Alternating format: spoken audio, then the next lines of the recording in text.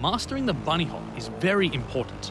However, there will be situations where one isn't enough. At times, you'll need to string a series of bunny hops together to maintain your speed and clear a larger gap. This technique is known as consecutive bunny hops. As this technique is about maintaining your speed while performing bunny hops, I'll assume you've already obtained a high grade on the bunny hops lesson.